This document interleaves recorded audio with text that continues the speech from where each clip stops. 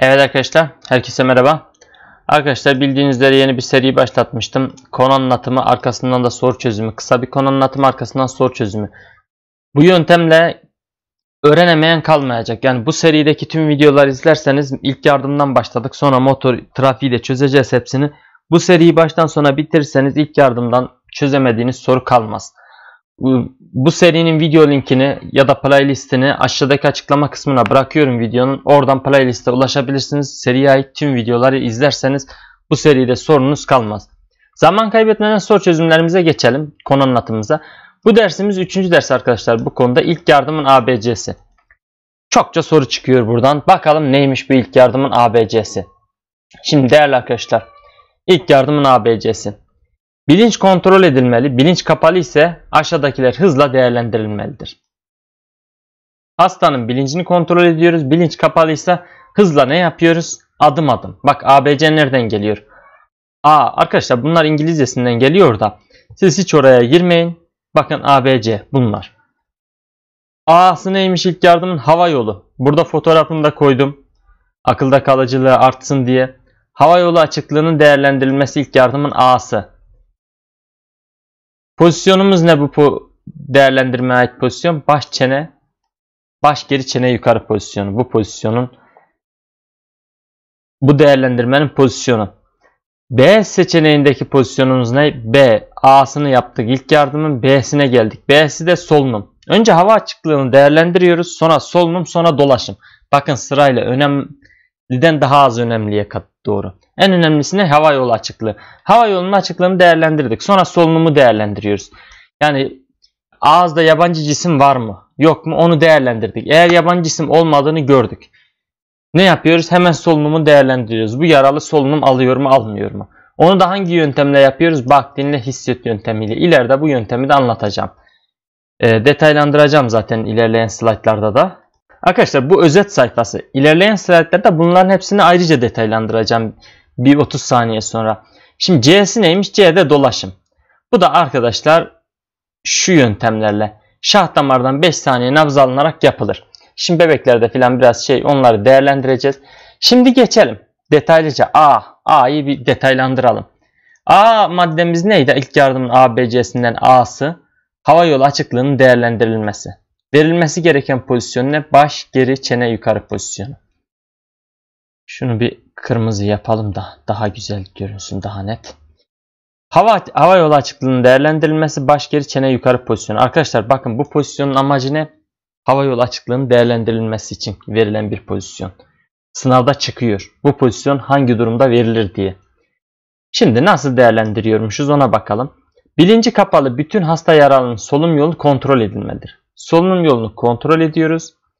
Dil geriye kaçabilir yabancı cisim olmasa bile. Ya da yabancı bir cisim soluk borusunu tıkayabilir. Onun için bunu yapıyoruz. Önce ağız içine gözle bakılır. Eğer yabancı cisim var ise çıkarıldıktan sonra hastaya baş geri çene, çene yukarı pozisyonu veriyoruz. Şimdi ağzında ne? Baş geri çene yukarı pozisyonu verilirken sert, sert hareketlerden kaçınıyoruz. Niye? Bu, bu madde neden var? Arkadaşlar çünkü sert hareketler yaparsak omuriliğe zarar veririz. Kişi felç geçirebilir. Burada bir sakatlık meydana getirebilirsiniz. Onun için sert hareketlerden kaçınıyorsunuz. A'yı bitirdik mi? Hava yolu açıklığının değerlendirilmesi. Kafamızda. Elde var 1. B'ye geçelim. İlk yardımın B'si. Solunum. Bunu hangi yöntemle yapıyoruz? Bak dinle hisset yöntemiyle değerlendiriyoruz solunumu. Bakın burada fotoğrafı var. İyi bakın şu fotoğrafa bakın. Bakıyor. Neye bakıyor? Şuraya. Bakın ilk yardımcının gözü nerede? Burada. Ne için bakıyor? Burada göğüste bir hareket olacak mı? Nefes alma hareketi diye. Solunumu değerlendiriyoruz ya. Dinlerken kulağı nerede aynı zamanda? Bakın. Nefeste ağzında. Orada ne yapıyor kulağıyla? Dinliyor. Kulağıyla da dinliyor. Bakın burada dinliyor.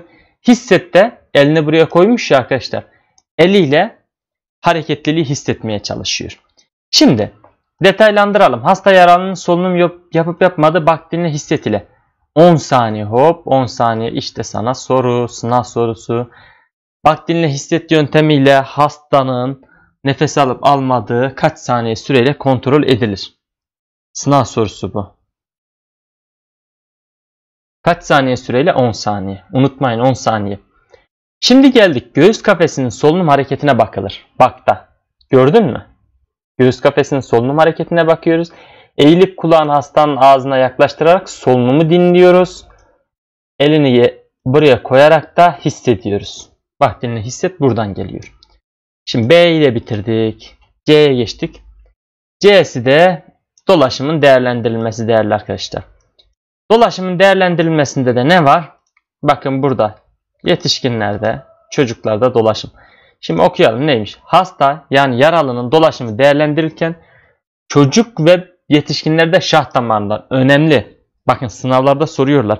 Çocuklarda e, dolaşım ayak altından yapılır diyor. Doğru mu? Yanlış. Nereden yapılıyor? Şah damarından. Dolaşımın değerlendirilmesi. Sizi şaşırtmasın. Önemli bir soru.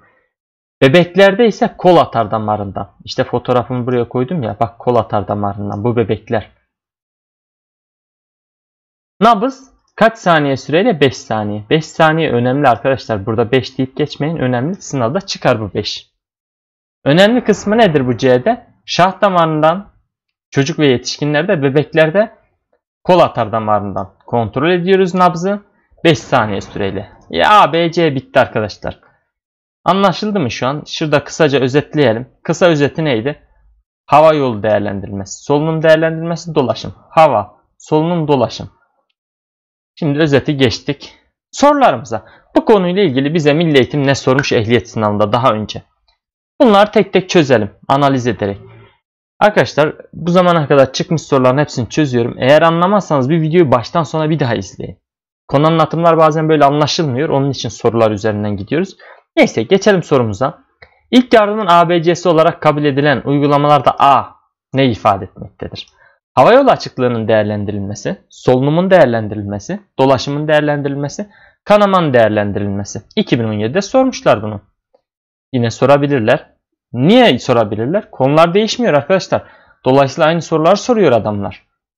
Şıklarda ufak bir değişiklik yapıyor ama aynısını soruyor. A ne ifade ediyordu? Hava yolunun değerlendirilmesi.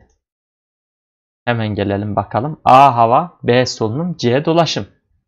Unutma. Sonraki sorumuzda ilk yardımın ABC'si içinde yer almaz. Kırıkların tespit edilmesi, dolaşımın değerlendirilmesi, solunumun değerlendirilmesi, hava yolu açıklığının değerlendirilmesi. Hava yolu açıklığına bakıyor muyduk? Bakıyorduk. Bak dinle hisset. E, baş geri çene yukarı. Solunumun değerlendirilmesi, bak dinle hisset. Dolaşımın değerlendirilmesi, nabız. Kırıklar burada var mıydı? Yoktu. Bunun üçü arkadaşlar ABC içerisinde yer alıyordu. Sonraki soruya geçelim. İlk yardımın ABC'si olarak nitelendirilen uygulamalardan C ne ifade eder? C'yi sormuş. A. Solunumun değerlendirilmesi. B. Kan dolaşımının değerlendirilmesi. C. Sindirimin değerlendirilmesi. D. Hava yolu açıklarının değerlendirilmesi. C'de ne yapıyorduk? Nabız kontrolü yapıyorduk. Aslında biz ne yapmış oluyoruz? Kan dolaşımını değerlendirmiş oluyoruz nabızla. Solunumun değerlendirilmesi olamaz. Sindirim alakası yok. Hava yolu açıklığında burada değil. Doğru cevabımız bu seçenekte B seçeneği nabız kontrolü yaparak dolaşımı değerlendiriyoruz. Gelsin sonraki soru.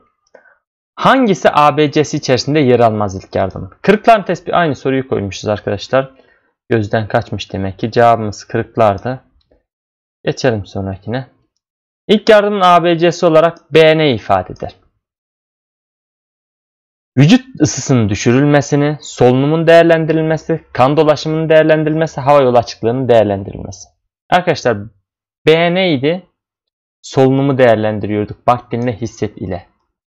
Hava yolu açıklığının değerlendirilmesi A, dolaşımın değerlendirilmesi C, bu da B'ye ifade ediyor. Vücut ısısı burada alakasız bir şık olmuş. Doğru cevabımız B seçeneği. Değerli arkadaşlar bu konuyla ilgili şimdiye kadar çıkmış 10 tane soruyu çözdüm. En önemli 10 tane. Daha fazla mutlaka çıkmıştır ama en önemlilerini çözüyorum. Arkadaşlar bu seriyi mutlaka baştan sona izleyin. Ortalama bu video serisi bitince 18-20 tane video olacak bu konudan. İlk yardım serisi. Bu serinin açıklama videonun açıklama kısmına videoların tüm videolar içeren playlisti bırakıyorum.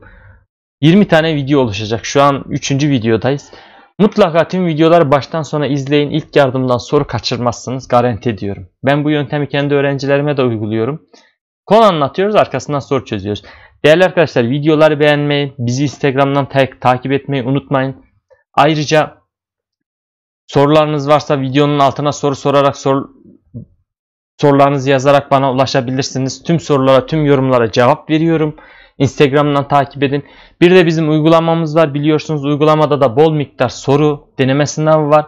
O uygulamayı da indirip oradan da deneme çözerseniz sınavı başarılı bir şekilde geçeceğinizi ümit ediyorum. Bir sonraki videoda görüşmek üzere. Şimdiden hoşçakalın.